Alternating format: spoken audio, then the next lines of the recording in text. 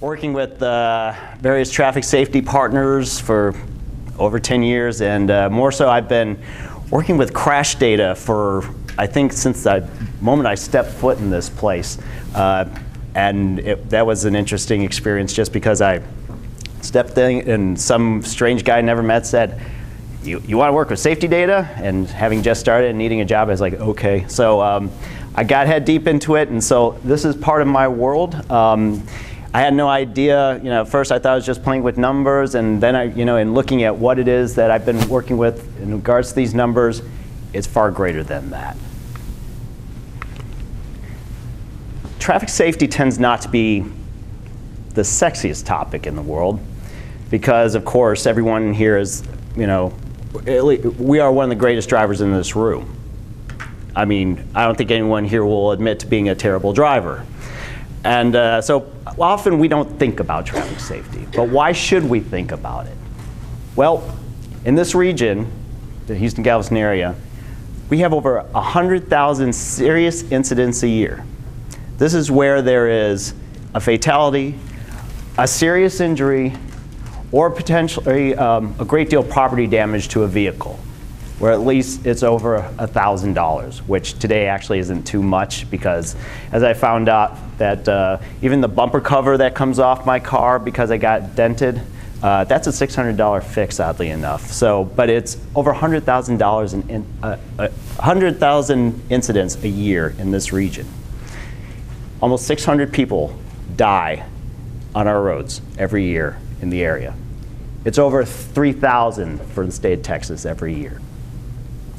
And over 16,000 serious injuries. And this is serious injuries where someone is taken out on an ambulance because they're incapacitated, or there's something obviously wrong, like a broken arm, or broken leg. Um, essentially, by the time you leave here, if starting when I just got started till you time leave, probably three people have gotten seriously injured on our roadways. Another big issue, you know, we talk about transportation. The biggest issue here is congestion. We got to cure congestion. Crashes is one of the biggest causes of congestion. You got two cars connecting in the middle of the road, it's backing up traffic. How do you cure congestion? Stop crashing in the middle of the road. It'll take care of at least 25% of your issues in regards to congestion. Also, and we have some law enforcement here, it puts a strain on folks like law enforcement, the fire department, EMS, doctors, um, various folks who have to address an incident every time it occurs. That's your tax dollars at work. That's your tax dollars you're going to be paying. More crashes go up. And also your insurance costs. More crashes you have in an area, the more your insurance costs. Go to an area that has fewer crashes, your insurance rates will be far less. Why else? Why is traffic safety important? It costs our region money. The National Safety Council has a whole methodology methodologies for estimating the cost of unintentional injuries, including car crashes. And we're looking at things like the cost of productivity, the cost of insurance, uh, hospital stays, uh, follow-ups, et cetera. These are the total costs for our region based on what occurred in 2013, You saw the breakdown. About 5.3 billion with a B dollars a year it costs our region. We often, every year, uh, Texas A&M Transportation Institute comes out with a study that talks about the cost of congestion. We're very, we're very interested in the cost of congestion on our region. That figure is only 3.1 million. And you gotta figure that some of that congestion cost is right there. So this is a serious issue that actually has economic impact on our region as a whole. This is one of my favorite graphs. Why we, why we need to talk about traffic safety. How many y'all have a gun in the home to protect yourself? It's all right, it's Texas, you're allowed. odds are you're going to get killed on the highway before you get killed by someone in your home.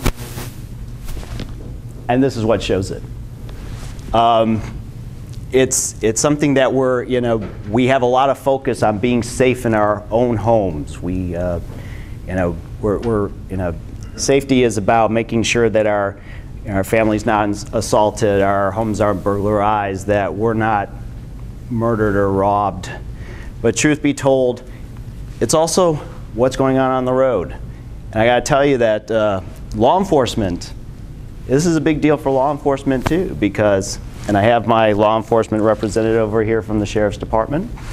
I think you can tell me that uh, in regards to where the money goes towards, in terms of what gets um, you know, looked after and what's mo most important in regards to law enforcement and, and where we put our resources, you want your cop there to protect your home, to protect your family, to protect your businesses. But this same cop, this cop pulls you over for doing 15 over in, on the freeway. This is the agent of the devil right here. Raise your hand, sir. He is one of Satan's minions. And it's unfortunate because while he might be causing you some aggravation and grief, he's saving me and my family from that individual plowing into me. But our resources aren't necessarily geared towards this, but it's still a very serious situation. This is one that's close to my heart, and it's up there with that red box, was slightly ovalized, is that crashes will most likely be the reason why your kids die. And my kids fall into that range. Is that I have to be most concerned about whether or not they get killed in a car crash. And, uh, you know, we talk about the things that, you know, I'm not terribly concerned about some of these other things happening to my kid, but I buckle them in and I want to make sure that they are safe. So what does this look like for our area? Car crashes in our area, it's been interesting. We actually were experiencing a downward trend for quite a while. And then all of a sudden, over the last two years, it's gone up. And not just gone up, gone up significantly. Since 2011, car crashes went up 25 percent.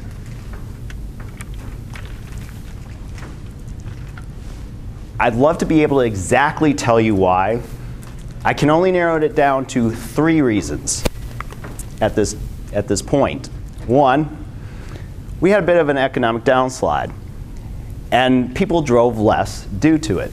We have the data that show that you know, people were driving less, there were fewer vehicle miles traveled. Fewer vehicle miles traveled, less opportunity to get into a crash. Second, also in economic bad times, we tend to be a little more cautious perhaps we're being a little more safe. And things are getting better for a lot of us, so maybe we're kind of letting go of some of this. The third issue, that frankly, there, is, there have been some developments in terms of uh, crash reporting, that there are new systems out there that make it easier to report incidents. Um, it used to be that officers have to fill out this ungodly report called the CR3. How many of you filled out? Too many. um, it is a pain.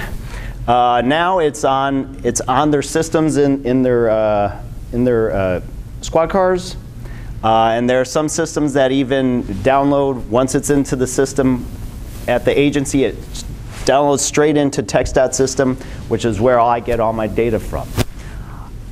Is this better reporting? That might be it as well we have to keep an eye on the trends because this, these are the data that we are working with.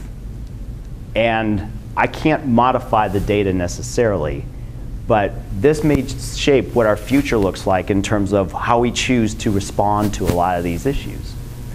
And this is going to be a big deal when we, it comes to dealing with policy in our area because as the federal government is looking at doing, we are potentially going to have to keep track of how crashes improve or how crash rates improve or decline and be willing to deal with this.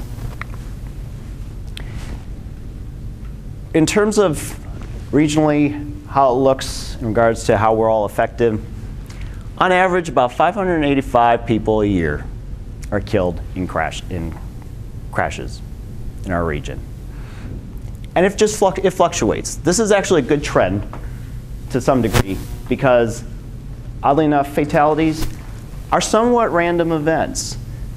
because there are a lot of these fatalities that potentially did not need to happen. One in four of these fatalities were people not wearing their seatbelts. If they were wearing their seatbelts, they perhaps would not show up. That's something that's easily addressed. Um, you know, it could be a matter of how the car was hit. You know, if you get hit in the in the back, heck a lot safer than if you're hit in the side. You know, 55 miles an hour impact in, in the rear is far safer than it's going to be on the side of your car. Um, but it's pretty stable. Yes, sir. Is there a reason why the fatalities don't seem to emulate uh, previous slide uh, collisions? This pretty level, and the other chart you showed had a significant increase down in 2010, and then 2011 it had an increase. A couple reasons. One, vehicles are getting safer. They are getting safer. So we are able to survive certain impacts. And second, there's a le- there is a level of randomness to it. It's, there could be sheer luck, frankly, sheer luck. If you get the right set of circumstances where everyone gets hit right in your driver's side door at 60 miles per hour, I guarantee you this number will go up exponentially. There is an aspect, drive, crashes tend to be random events. Nobody gets up and plans a crash. They happen. There are circumstances that play into it. But this is a good sign, and I will give a lot of credit to this in regards to this, is that cars are a lot safer. The same thing goes with serious injuries. If you'll notice, the trends here, they, they fluctuate a little bit, but they're not going down terribly, they're not going up terribly. It's just that there is, there is a series of um, events that occur, and depending on situation, be it the the uh, nature of the crash, that you know there are some years more people get injured, and some years people don't. This slide, though, is the most telling one.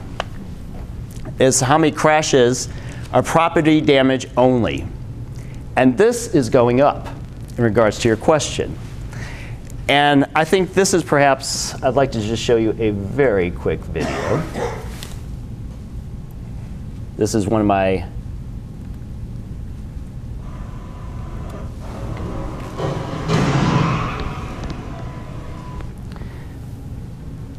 For the 50th anniversary of the Insurance Institute Highway Safety, uh, they took a 2009 Malibu, which was standard midsize car for the day, and put it up against a 1959 Chevy Bel Air, which was the standard midsize car of the day. And what they did was they basically did a offside head-on crash where both drivers would get impacted. This is the inside the 59. The driver is essentially in the back seat.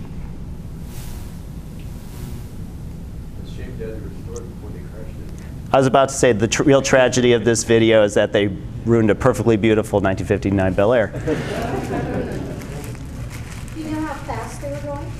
Uh, I believe this is a 35 mile per hour crash. Now this is inside of the 2009.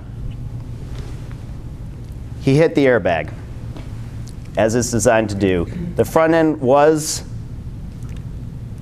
not in the best of shape, but this is how far things have come.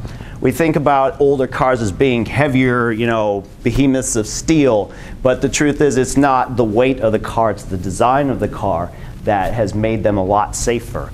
Uh, the invention of crumple zones, um, various uh, improvements in bumper. Oddly enough, you have to thank NASCAR for some of this.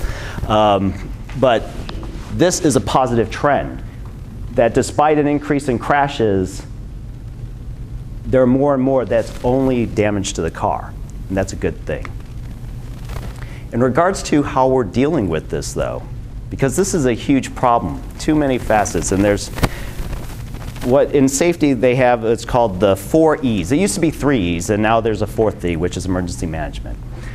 And the th- four E's are engineering, enforcement, education, and as I mentioned, emergency management. Traditionally, um, when traffic safety comes into play, the thought is that there is an engineering issue at hand. I have my friends over here in the corner that remind me this every day, almost, as they call me looking for information about various intersections. I'm assuming you get a phone call of some sort saying that, you know, I have the most deadliest intersection outside of my subdivision. Tell me how many crashes there are. That there is an engineering fix to this. And truth be told, there are some cases that engineering is appropriate. Um, it's possible that there is a pro problem with road configuration. Um, perhaps traffic signals are slightly out of whack, that uh, the yellows are too short. Perhaps there's inappropriate signage. Uh, uh, perhaps there's uh, insufficient pedestrian bicycle infrastructure available. You know, engineering plays a part in fixing some of this. And this is, it's critical and, you know, and it's something that is highly focused on. But, as I have my engineers in the room, I will ask them. You all, your Ps, I, I've worked with these gentlemen for a very long time. I know they are perfectly capable engineers. I would ask them to design my intersection any day of the week, year, or month. Um, can you design me a perfect intersection that will prevent two people from colliding? Uh, Only if we put barricades all around it. No. Get working on it. As I like to say, design me a perfect intersection, I'll find you two perfect idiots who will find a way to collide in it. That's the problem. Some of it, there's engineering, but there's a lot of human error involved. A lot of human error involved. In fact, if you looked at the vast majority of crash data, there's something called a contributing factor. And it's a factor where that is about why was why this crash occur? And it, you'll see a whole list of things: running a red light, speeding, drinking, uh, using your cell phone. I mean, there's a whole list of them, and almost every single crash that I have has a contributing factor that suggests human error. You give me a traffic signal that has a two-second yellow instead of a three that car that catches that two second yellow might have to hit its brakes so it doesn't get into the intersection and cause a crash. You might have an engineering issue there. The person that slams into that individual wasn't paying attention to the person ahead. That's a behavioral issue. Now, granted, there's only so much that can be done by changing that to a three second yellow. But if the person behind me isn't paying attention, that's where the problem lies. And a lot of the crashes, that's what's going on, is that it's someone behind who isn't necessarily on top of the situation if, if something sudden happens that cannot control for the situation. So we have other things that we need to look at for fixing it. There's enforcement. Enforcement is key. We need enforcement out there for, you know, we have speeders, we have people running red lights, we have drunk drivers. Um, you know, but in order to make that truly, truly effective, whatever our police force is now, multiply it by what? Two, three, four? In order to keep it all safe is extremely costly. You know, I'm, I'm blessed. I got, I got this, uh, in fact, these last two weekends, I have a DWI task force that had 17 agencies out there looking for drunk drivers. That's great. They operate eight weekends out of a 52 weekend year. Um, so I got 44 weekends that I can't necessarily account for that, you know, there will be folks out there drinking, driving out, necessarily have the folks out there enforcing. Um, and they're, you know, law enforcement, they're out there, they're doing a host of things. They might be looking for drunks, they're getting cats out of trees too. They're stopping burglaries. They're preventing family members from getting assaulted. So, I mean, they have a lot on their plate already, but enforcement is going to be key making this happen because one of the things in order to make this easier and make us safer is to make it more difficult to do. Education is a big part of it too. If we start teaching folks on the early side, you know, it's taken a long time to get folks to realize that drinking and driving is a bad thing. Wearing seatbelts is a good thing. Um, why did it take so long? I have no idea. But educating folks is critical to it. I educate my kids right from the get-go.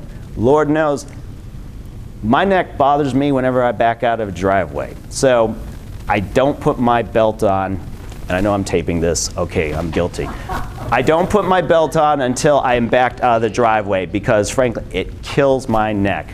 And my daughter gives me grief about it every single time. She's seven. That's when you got to get them because it's not just I can put out programs. I have, I have programs that I work with uh, that works with high school students, try to get them educated about um, safe driving as teenagers. Um, there are various programs out there that driving schools have, but one of the biggest educators out there is us as parents, and that we teach them right from the get-go. They emulate us. Emergency management, that's the fourth thing, that's the new one they threw in because a lot of this is about usually the aftermath of an incident. And uh, some of this is about when an incident occurs, it's critical to get that incident cleared as fast as possible. Because the longer you have it out there, the more you back up traffic, you have the potential of having a secondary crash, especially on the freeways. Because you got traffic slowing to a halt on the freeway, and you got someone coming over the hill and doesn't see the backup at 60 miles an hour, it, it's a recipe for disaster. I'd like to get into quickly, as fast as possible, some of the issues that we need to look at in regards to various aspects of traffic crashes in our region. Because, I mean, there are so many different issues that we have to look at, and so many different issues. It's not just a matter of, you know, two cars connecting. There are various factors that get into it. And so I'd like to go over the various issues that we're experiencing, you know, in regards to traffic safety in our region. Alcohol-related crashes, perhaps one of the most noted uh, issues in our area. Harris County, unfortunately, is number one in regards to DWI deaths in the country. Um, we're about the same size as Chicago, and we, uh, I think we're four to one in regards to DWI deaths. Um, and uh, it's, it's amazing that uh, how far we, even, even Los Angeles County, which has three times the amount of people as, uh, as Harris County practically, we still top them in regards to DWI deaths. Thankfully, alcohol-related crashes seem to be going down. I think a lot of this has to do with the fact that there are a lot of agencies that are taking this very seriously. They're out there on, on the weekends. The uh, district attorney has no refusal weekends where if you get uh, caught for a DWI and you refuse to blow, they'll take you downtown, they'll draw your blood. They'll get a warrant and draw your blood. It's becoming much more uh, put out there that drinking driving is not acceptable, and perhaps folks are starting to listen. Alcohol-related fatalities, you're looking at about four of every 10 crashes involves alcohol where fatality is involved. If people just didn't drink and drive, these could possibly go away. I mean, it's, it's, it's rather insane. It's terribly unfortunate, but four of 10 involve alcohol. And the average offender has a uh, blood alcohol limit over twice the legal limit. 0.08 is the legal limit, so to speak. And you have to figure that it's not one margarita, it's probably close to three. It's five beers. Um, and that's just the mean and the median, which just happen to be the same. All these bars that go beyond that, there are people who are doing three times, four times, in some cases even five times the legal limit and somehow surviving that. I have no idea how. In regards to drunk driving issues though, and there are a lot of them, one, there is a essentially a DWI defense industry, I'd say, out there. How many of you have heard a commercial on the radio that says, basically, have you murdered your neighbor lately? Robbed a convenience store? Set someone's house on fire? Assaulted a family member? Maybe you're just being misunderstood. And really, you need us to help you out. You never hear that commercial on the radio But Lord knows if you have a drink, there are a host of folks out there who are willing to help you get off from this. It is huge. It is absolutely huge. Um, and, you know, because of that, because of all this, evidence becomes critical in regards to these cases. My friend here with the badge and the gun, it takes hours to process a DWI. Your standard car crash would take what? Maybe half an hour to process? Average DWI? Two hours. He's got it good. Folks on my DWI task force, it's three, four, five hours, depending how many folks are out there to draw blood or to process the paperwork if it's a real busy night. Four or five hours potentially to process a DWI. But yeah, two hours, it's, you know, they have it, that means you have it down to a science. It, it's the, the, the amount of paperwork compared to any other crime is, is it's, it's a little ludicrous, frankly. But this is what has to happen in order to ensure that this case is going to get prosecuted accordingly. One of the big issues that helps play into this, though, is something called a Uniform Accident and Sickness Policy Provision Law. You've all heard of that, right? No? Okay, we call it UPPL. It's an odd little archaic law that was put into effect that basically said that if you were caught if you come into the, into the hospital and you have been in a uh, car crash, and it is determined that you have alcohol in your system, an insurance company does not necessarily have to pay for your hospital bills. The people who actually put that law into effect, and this was years ago, maybe almost 50 years ago, think that this law is silly and should be repealed. Texas has not repealed this law. Now, why is this an issue here? Is because one of the things that could happen is that if I, if as an officer, you have a DWI suspect and you want to take them into a blood draw, there's only probably, outside of the county jail, there's only two places you can take them to get the draw, Ben Taub and LBJ. Two hospitals. Why? Because St. Luke's, Memorial Hermann, um, you know, name some of the other private hospitals. There's concern there that they will not get reimbursed. So they will not necessarily participate in getting a blood draw. The other two are public hospitals. They have to take you anyway. This, this law needs to be repealed. This is causing some problems in terms of prosecuting cases. Something that I was talking about off the side is that frankly, we are a region that's heavily reliant on the car.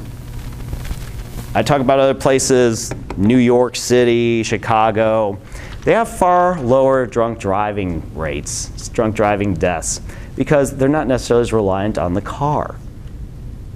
We are reliant on the car. If we want to get a drink, odds are we got to get in the car. The closest establishment to me that serves alcohol is, let me rephrase that.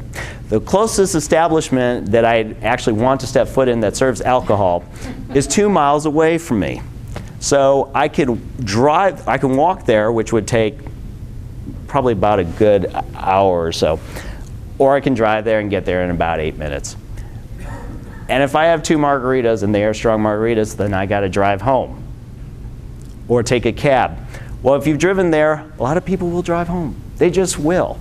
We rely on that car. This way this region's set up, the reliance is there. It almost, I would say, puts us in a position where we have to make this decision. And it's unfortunate because uh, there are times that often we decide wrong. It's an inconvenience. We should be getting a cab. We should have someone come and pick us up. But too many people will say, well, I'm here. I have my car. I'm going to drive home. Again, we have some DWI task forces, no refusal recent weekends out there. I think they are actually making a difference. I really do. I hope these will continue to be funded because the more, more that's out there, more folks out there, they know that we're watching you. I think people are going to be more careful about it. The hip happening, next topic, the hip happening issue of the day, distracted driving. Because this, this is the one where you know, we all now have these handy little gadgets here. And um, it's, it's, it's, it's the drunk driving, you know, where drunk driving was in the early 80s, it's what distracted driving is today. This, this is the traffic safety topic du jour. Crashes, oddly enough, according to this, are going down. And maybe slightly going up, and that might be in line with, uh, with how crashes are going up in general. Um, yes? In your previous slide, um, I'm just curious, is it maybe going up because the population in the area has gone up?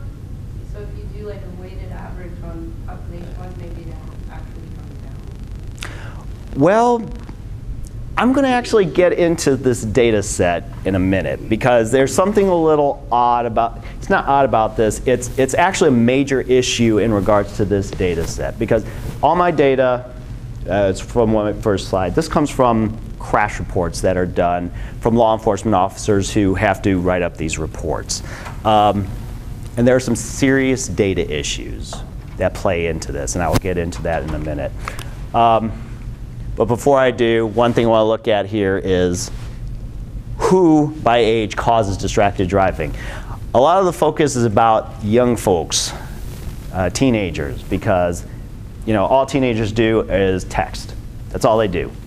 Morning, noon, night, in the car, during breakfast, that's all they do. And so the perception is, well, they are the problem. They are a problem.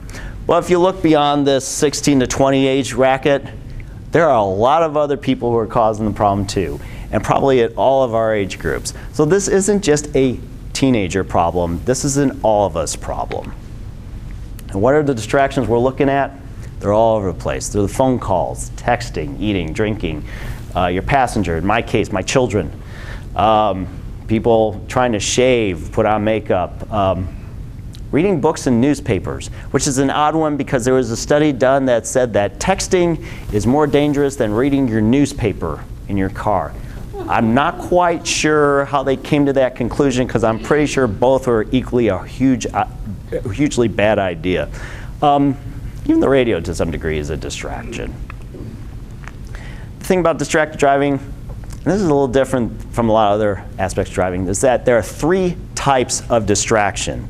This is not to imply that it's just women drivers who putting on their makeup is the cause of distracted driving because men cause more crashes than women. I was going to throw that slide up there and give that to you, you know, that you can take home for all your husbands that say, you know, women drivers is a problem. No, it's not. It's men drivers. So, but these are the three issues in regards to distraction. It's three different kinds. There's a visual distraction where you should be keeping your eyes on the road. There's a manual distraction. You should have your hands on the wheel. And a cognitive one where your brain should be thinking about what's going on ahead. When you, when you text,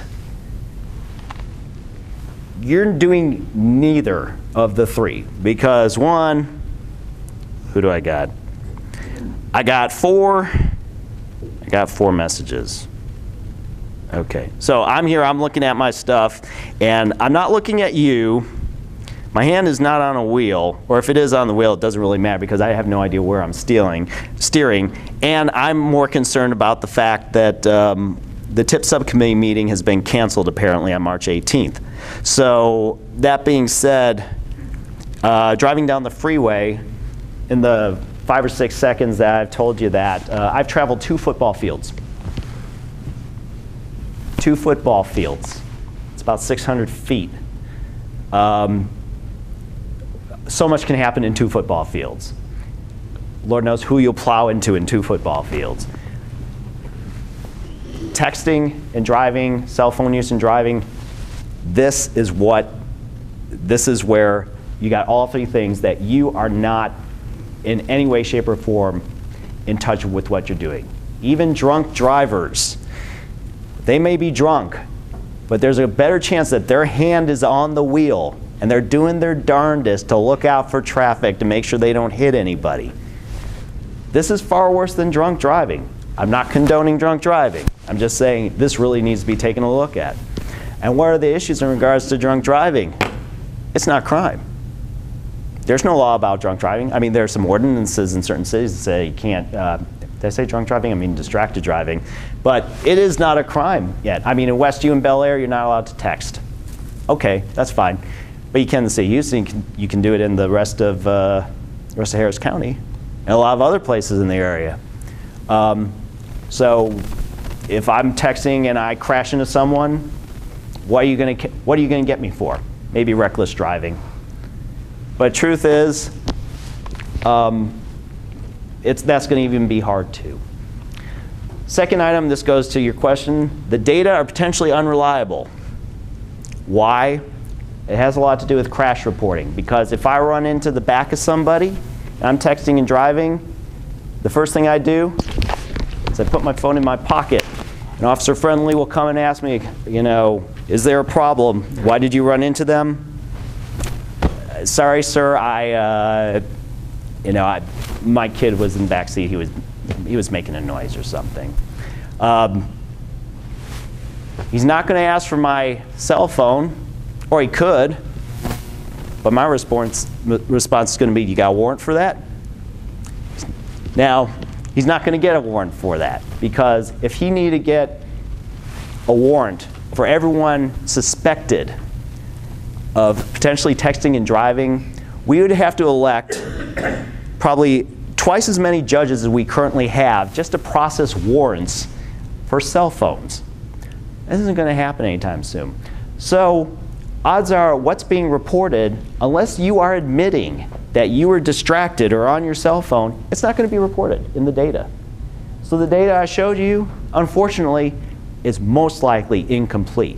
But you can tell by looking at some of the information where there are a bunch of people just running into the back of people randomly. And about 30% of incidents, people running in the back of somebody. Odds are there's a distraction going on, it's just not being discussed. And more so, there, there are distractions that are actually getting integrated into our cars. We have now, you know, we have the DVD players, we have satellite radio, we got, oh, sorry. Um, how many of you seen the Tesla S, Model S? Yeah, the new one. The new electric car, Tesla Model S. Anyone see one? It is one of the most beautiful cars in the world. I think it is gorgeous. Um, I would love to have one. It comes with a 17 inch display that the driver can see right, in, right between the driver and the passenger. 17 inches, which is about the size of a computer monitor. It's bigger than an iPad. You can drive down the freeway and read the New York Times as you go. That's, getting, that's the future. That's what's being integrated in our cars right now.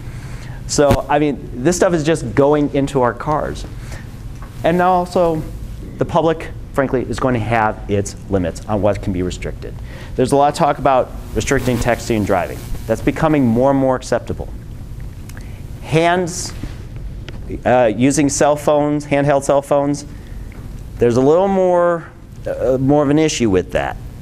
But it's, it's an issue that some folks are actually saying, well, maybe we, maybe we can live with that.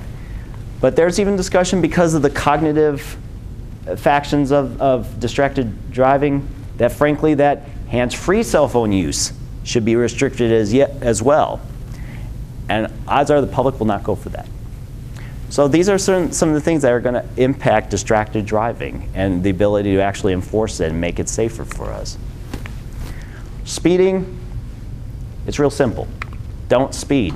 Speed-related crashes, they are going down. That is kind of a good thing.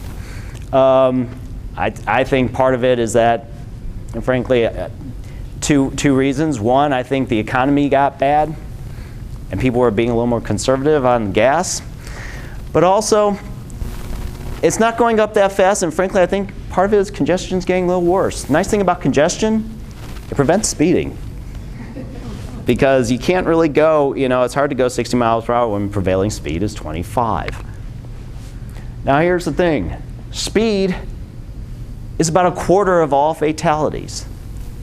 Now this is an interesting graph because what you see is this dark blue here with the white numbers are crashes where it was excessive speed or over the speed limit or, or speeding um, beyond what congest, conditions entail. Like it, speed limit can be 60, you're doing 45, but really you should only be doing 25. That's what the lower blue is. But up at the top is the total. And there's a series of crashes which are listed as a failure to control speed. Those are, these are hard crashes. These are crashes where basically a, if law enforcement pulls up onto a wreck and you have two cars, they are grossly mangled. One of them's on fire. Um, obviously, a horrible collision has occurred. Were they speeding? Well, I think according to Heisenberg's uncertainty principle, um, I don't think you can tell because I think you can tell whether something is in motion or you can't tell where, where the location is. Well, you know where the location is, but you can't tell whether the thing is or was in motion. That's my corollary to the Heisenberg uncertainty principle. So there are a series of crashes where inexplicitly there's just exceptional amount of damage or death in this case, where odds are this was not, these crashes in the lighter blue were not someone going 10 miles an hour and running into the back of somebody. There was some extreme event that occurred. Odds are it had to involve speed considering the level of uh, th- that death occurred in this case. One way to deal with it, frankly, is going to be more enforcement. One option that was put out there was speed detection units. Oddly enough, the first one put out there was in Friendswood. They reduced speeding, they reduced uh, police presence. Um, there were some issues with it. Who's liable if I'm driving your car and I speed? Do I get the ticket or do you get the ticket? Well, odds are you get the ticket, but you know, and that's going to be a problem between me and you. Um, is it invasion of privacy? You've seen me go by a certain spot. That way you know where I am. That's an invasion of privacy. Is this a revenue generator? It might be. Truth is, these things are great, but they'll never happen here in Texas. And that's unfortunate because these are extremely effective in terms of reducing speed. Red light cameras, it's a similar situation. The crashes, you know, they're, they're on the decline as well and they're starting to increase. But, you know, in terms of these years going down, um, the decline, that was the time when actually Houston had uh, red light cameras in place. They were taken out back in, what was it, 2010, 2011? Um, you know, hopefully it's that people kind of got the message and kind of laid off on the red light running, but there was, there was shown that uh, red light cameras actually did reduce crashes. Um, but, you know, they were taken out. Um, it, the citizens of Houston or whoever came out to vote that day decided that they did not want them. They were then removed. Truth is, you reduce uh, police presence with these things. You can have folks station an officer at every single intersection, or you can put these devices out there. They are effective in reducing these crashes. The big, one of the biggest issues that were brought up about these is that they do increase rear end crashes. The reason why they increase rear end crashes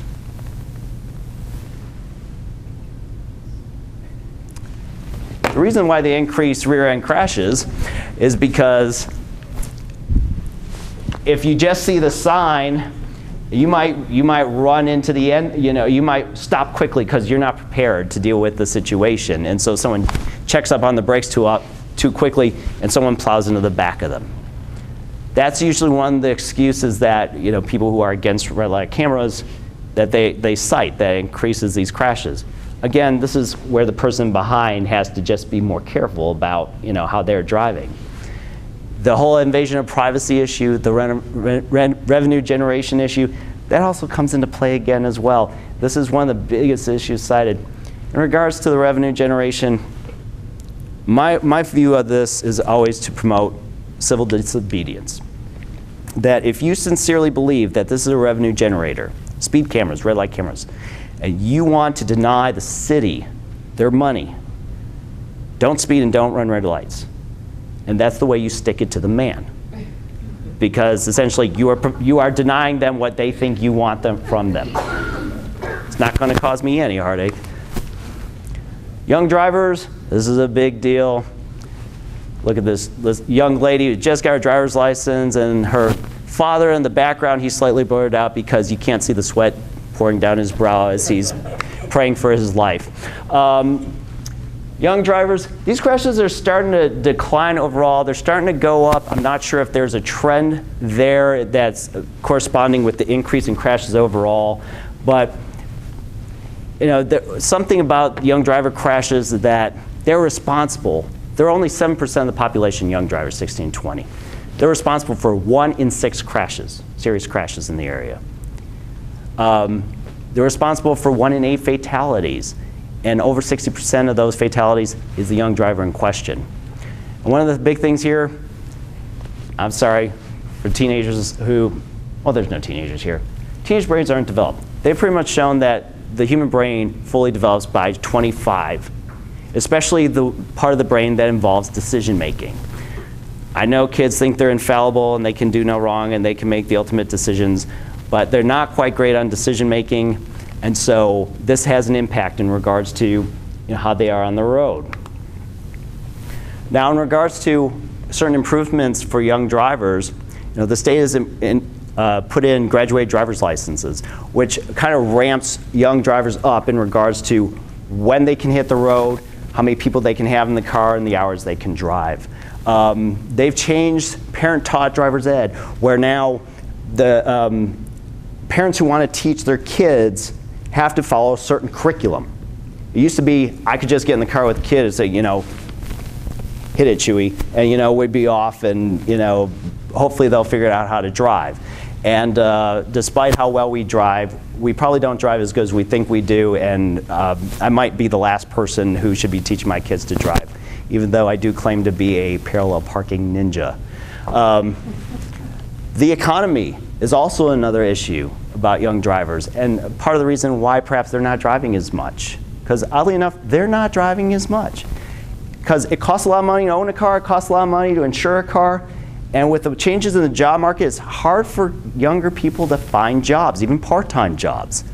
So there isn't a lot of in, disposable income for young drivers to drive. So this is actually having, we think, an impact on young drivers. And the odd thing, though, the fact that I mentioned that they don't necessarily want to drive blows my mind. Because there have been studies done where they've shown that there's actually a growing lack of interest. They're more interested in texting friends than they are actually getting in their car. Well, I was 16, February 19th, 1985. First thing I did was I woke my mother up. We drove down the DMV. It opened at 8 o'clock. I went and got my license. I took my test. They decided I passed. I drove home. I slowed the car down. I kicked my mother out of the car. I drove off to the record store. I got my free record. I got my free. This is when the LPs were still there. Um, I got my free car wash, and I got, uh, I think, an ice cream or something that you get free ice cream on your birthday. I was ready to drive from the day I was born. Part of it is I grew up in Detroit. I got a nephew. He had to be cajoled into driving at 18. The interest is not as prevalent. So it's kind of interesting, but this is where it all starts. The young driver when they learn to drive. Elderly drivers on the other end of the spectrum, this is a trend that's going upwards. Um, elderly drivers, there aren't that many in regards to crashes. Less than 5%, 6% of the fatalities, but a lot of fatalities are the elderly driver, as well as you know majority of the injuries. A lot of it is that when an elderly driver gets into an incident, even with safety features in the car, impacts can be more damaging than on younger folks. It's just it's it's just a factor of growing old.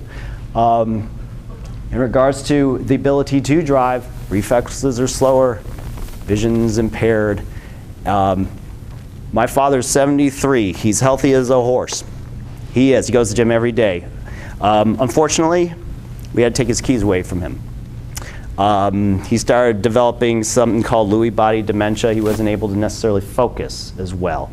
Um, and because of that, essentially we had to take his car keys away. He was not able to drive like he used to. It's unfortunate. And truly, it's going to be a growing situation here. Regionally, according to State Data Center, the population over 65 is going to be increasing either four or five-fold over the next 40 years. More elderly drivers out there. And this is something that, despite how old we get, these are factors, though, that are going to play into this. This will become a growing problem. I'd like to quickly get into four areas that are, um, I guess I'd call them two-party issues And these are where both parties involved play a role in ensuring traffic safety in regards to both parties' safety.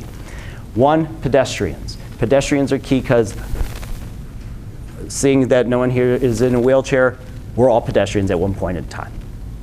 Every day. Right now, I'm a pedestrian, technically. Pedestrian crashes, there aren't that many of them, frankly. They're about 1%, a little over 1% of all crashes in the region. But on average, they're one of six in terms of fatalities. One of six people out there are pedestrians who die on our roads every year. In regards to injuries, up, about 90% have some level of injury. And I'm talking about be it a fatality, incapacitating, non-incapacitating, or you're hit and it's reported that you know they get up and you know they feel some pain in their neck. Odds are, if you are hit by a car as a pedestrian, you will get injured. You have no protection. It's just you and the car. 4,000 pounds versus 180. Do the physics, it doesn't work in the pedestrian's favor. In regards to the things, I mean, it's a two-part problem. Of course, motorists, we need to realize that pedestrians have the right of way at, at crosswalks. And that all intersections are technically crosswalks. That is in the law. We have to be more careful in the school zones. And especially extra care in back and down driveways, especially as our cars get bigger and higher. And if we don't have backup cameras, there's a bigger chance of backing into somebody as we come down our driveways. And as for pedestrians, they have to play a part too. Don't darn in the street. It's just something that, um, you know, you have the right of way, but even the law says that don't make it such that that you put yourself potentially in a situation where you could potentially cause a crash because you just started into the street. Yes, sir. I'd like to add, for a moment, if a citation is not issued against the car driver, we've had several cyclists where they're, they don't have a chance in court of a civil suit because the insurance company, there's no citation issued. And I'm sorry to pick on Police Brian on that, but we need those citations with the three-foot passing rule to give the cyclist a chance later on if they are. It's, it's true. And also, if you are a pedestrian and a bicy- or a bicyclist, you are ever in an incident with a car, get a law enforcement officer to the scene to write up an official report because there are incidents that don't necessarily get reported. They just don't. You don't report the incidents, it's not in the data set, and there isn't a problem necessarily. Bicycles, it's a similar situation. Bicycle crashes, it's maybe about half, of half a percent of all crashes. Somewhat understandably so, just because there are frankly not a lot of bicycle riders in this town. Um, but it's a similar situation. It, you still have the same level of vulnerability because even with your bike, you have no protection.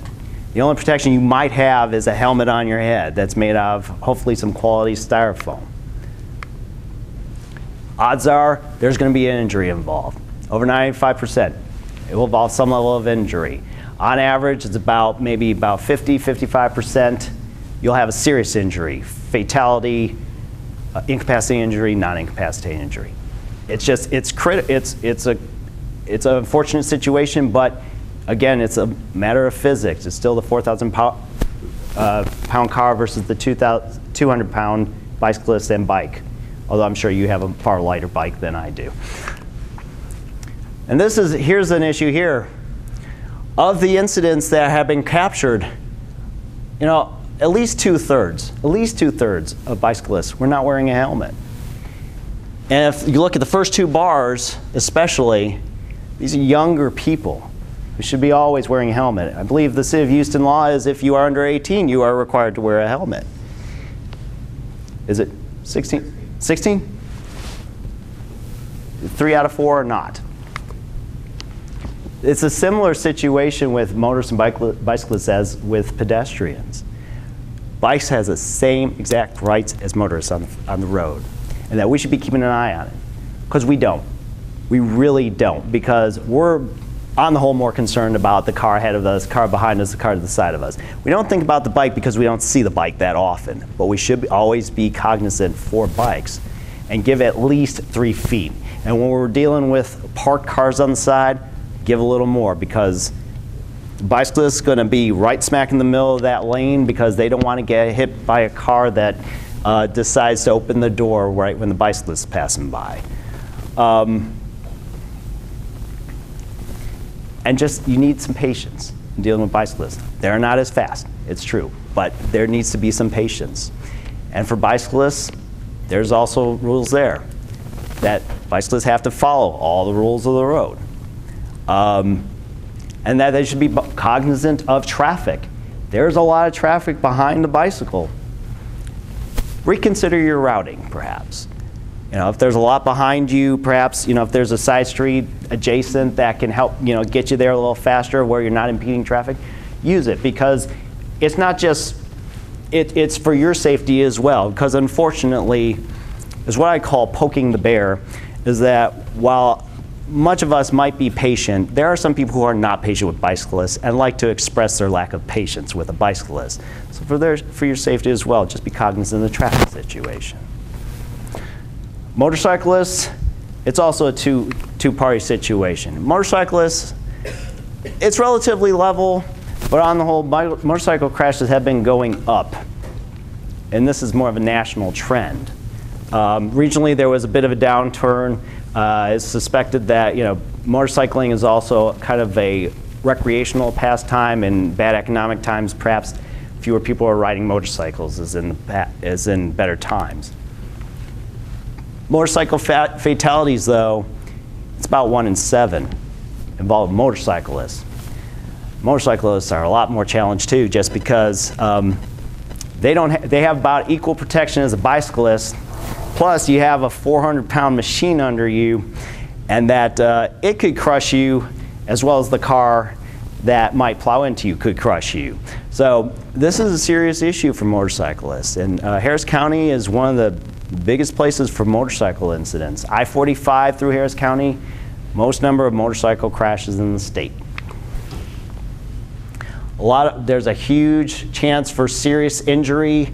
Um, considering the speeds you're going at, if you're going 60 miles per hour and all of a sudden you're thrown from your bike, even if you're wearing your helmet, you can get some serious injury. About 60%, 60% of crashes involve some level of serious injury. Because even if you're wearing a helmet, if you're not dressed appropriately, and you go sliding down the street, you can do terrible damage to your body. Motorcycle usage, uh, helmet usage, it's a real mixed bag. You know, the law says you don't have to wear one if you have certain insurance. But what I want you to look at is of the folks killed, 56% were not wearing a helmet. In regards to where the where sharing the road comes to play, got four-wheelers versus the two-wheelers. Cars, always be cognizant of your surrounding vehicles, especially motorcycles, and give space behind a motorcycle because they stop quicker. And if something goes wrong with a motorcycle, they have a bigger chance of, of, of hitting, the, hitting the ground and dropping their bike. And you have, you have to be far quicker in terms of your reflexes in dealing with that. Sometimes they may appear like they're being a bit of a jerk because they'll swerve in the lane. They're avoiding obstacles half the time. Because what we might be able to run over, they can't run over it because it might cause them to drop their bike. So be, be cognizant about that. Also, one other thing, if you ever see a motorcycle and it has its turn signal just going and it's not going anywhere, just be patient with it. Just with a car, it will self-correct. With a motorcycle, it doesn't self-correct all the time. So they're not necessarily turning. Just be patient with that. But in regards to motorcyclists, wear appropriate clothing. I know it's hot sometimes in Texas, uh, but if you're not wearing leather and you're just wearing your skin, um, you hit the ground and you skid across uh, uh, concrete at 50 miles an hour, you personally skidding across the concrete at 50 miles an hour, um, the amount of damage you'll merely do to your skin is excessive. I mean, if, you, if you're into skin grafts, try dressing inappropriately for a motorcycle. Get basic rider training. A lot of people don't go through basic rider training. but it's, it's really important to do. In fact, if you are getting a motorcycle license and you don't have one now, it is required you get basic rider training. Avoid blind spots around cars because they're not watching out for you necessarily and they don't need to run into you. And obey the speed limits and the traffic laws because Lord knows there are a lot of bikers out there who love to just hit that throttle and, you know, go cut in and out of, of drivers. First, it's dangerous for them. Two, you're not doing yourselves any favors in regards to what drivers think of, four wheelers think of you. The last thing I want to deal with is large vehicle crashes. I'll do this real quick because we're, I think, beyond time. We have a big port here. We have a lot of trucks driving through here, um, which means a lot of, a lot of uh, cargo and big trucks weighing 60, 80,000 pounds going down our highway. Um, this is big because you impact against a four-wheeler versus an 18-wheeler. 18-wheeler wins pretty much every time. Um, in terms of the trends here, there's a downtrend, you know, that has gone through 2011. It's back on the upswing. This could be a sign of the economy. We're going to have to keep our eyes on these trends. The thing about commercial vehicle crashes, if you look, these bars are all divided about in half. That's because half the problem is usually the truck driver, and half of it's the rest of us. Truck driving companies are really big on safety. They have to because it's their vehicle, it's their property, it's the cargo, they are responsible for it. And so they really promote a culture of safety in, in the trucking industry. But it's the rest of us how we deal with traffic that's part of the issue. One, stay out of the no zone. You see the red spots here? These are the spots where the trucks can't necessarily see you. And they're going to come plowing in, they're going to turn right into you potentially. They can't see you. They can't see out their mirrors. You see a sign, can't see, your, see my mirrors, I can't see you. There's truth to that. If you're going to be around a truck, you have to be in a spot where they can actually see you.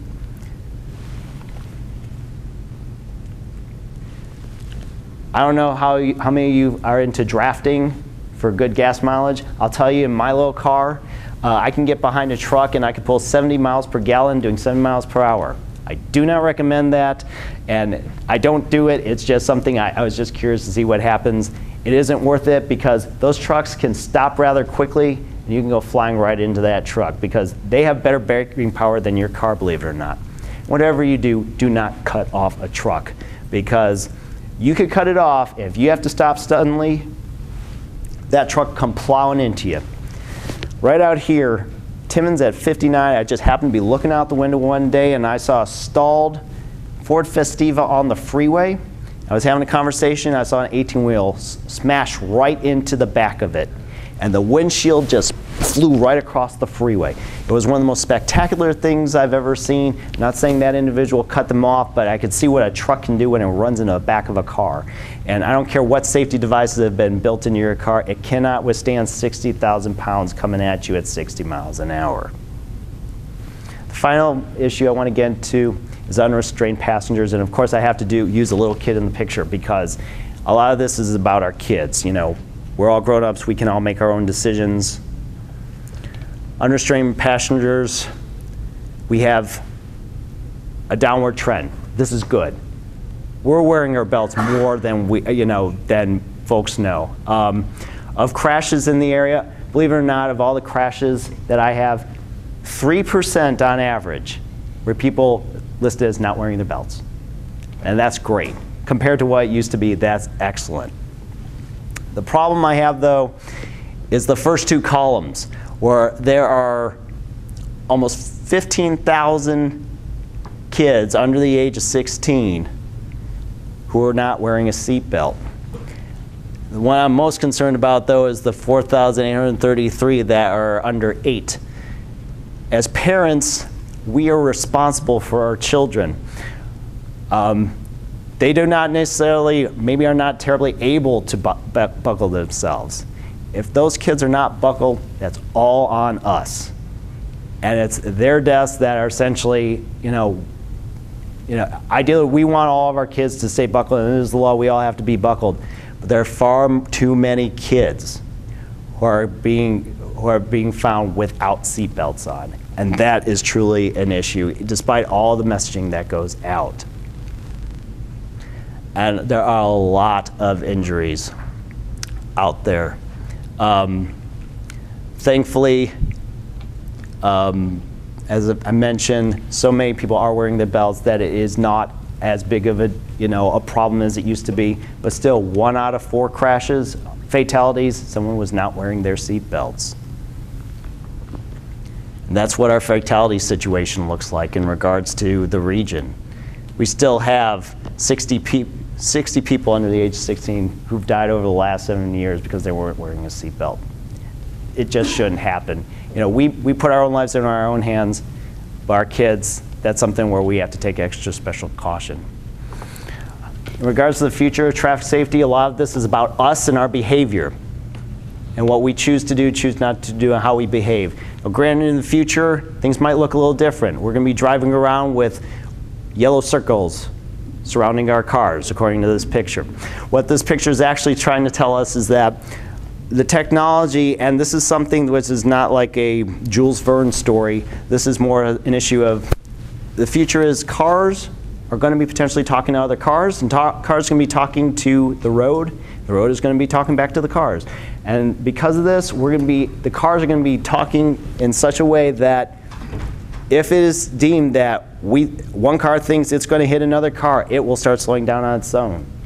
If a car is going a certain speed and it's, it, the light tells them I'm about to change to yellow in three seconds, it's going to tell the car, slow down, light's about to change three seconds. This future is closer than we think. The major auto companies are already working on the technology for this. This could be maybe 15, 20 years down the road. And this is a lot what's what we take the human error out of the traffic situation. That's going to have a big improvement on traffic safety. I want some concluding thoughts before we wrap up here. One, we do need to continue keeping an eye on our tr- crash trends.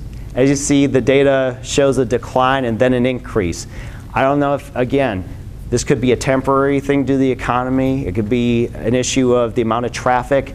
And it could be, frankly, just a data issue. That what we got here is that there's better reporting. If the reporting is truly getting better, we should see a leveling off of, of crashes. But we have to keep an eye on these trends because we're going to be somewhat more responsible for it. We have to keep looking at the various, the engineering, the education, the enforcement, and the emergency management in terms of dealing with these issues. And it has to be across the board. It can't be a matter of putting X amount, you know, 80% into this pot and then throw some change towards these other issues. It has to be across the board because, again, the engineering fix is not going to necessarily stop drunk drivers from driving drunk. And the enforcement fix is not going to necessarily prevent the pedestrians from getting hit on, on the roadway. So it's going to be coordinated. And the policymakers are going to have to make are going to have to be making some decisions because it's looking like there may be more responsibility put on our region to ensure traffic safety. Um, you know, I could tell you to share the road, get off the phone, don't drink and drive. The messaging will always be the same. We just all have to continue to do it. Because ultimately, crashes, they're all, on the whole, are avoidable. We don't have to run a red light. We don't have to speed. We don't have to drink and drive. We can wear our seatbelts. We can wear a helmet if we're on our bikes. We can cross at the right time. But it's about us making proper choices. On that note, and looking at the time, I will take any questions. Yes. Do you have data on the um, number of fatalities that are freeway related as opposed to the ones that are non-freeway related? Specifically on any area? Because, I mean, I could tell you that um, about, at least in regards to pedestrians, because, you know, pedestrians is a big issue. About one in four pedestrian fatalities is on the freeway. And what we're trying to figure out, in fact, there is a work group, we're trying to figure out whether or not it's people who are stalled on the freeway and trying to get out of their cars because they're stalled. Never get out of your car because you're actually safer in your car if you're stalled. Or if they're call doing what I call drunk frogger. Because there, there have been instances where it's someone literally trying to cross the freeway to get to the other side because it's the fastest option. What about free, uh, vehicle versus vehicle? I'm going to have to do some more research on that. Freeway crashes are a little challenging to discern, but um, I'm going to have to go through and look to see where exactly those will lie because I have to separate at times crashes that they say are on the freeway, they're actually on the frontage road. It takes a lot of uh, refinement of the data. I'll, I'll add that there's a general trend in safety data globally around the country. Per mile traveled, freeways are safer than surface roads. So that, that's a piece of information that's valuable. I just wanted to compliment you on using the word crash instead of accident. Yes, that's, you know, that was something I was taught and I've learned that uh, an accident is what my four-year-old does. You know, sometimes when he can't make it to the bathroom. But a crash, that's, that's what occurs because they're not accidents. Accidents are, I mean, these are completely avoidable. Any other questions? Um, I, I appreciate your time, and I appreciate that uh, you stuck around to the end. Uh, this probably could have been a good three-hour presentation. Uh, there's a lot of, sub, of subjects to cover in this because traffic safety is a multifaceted topic. And uh, I thank you for your time and thank you for your attendance.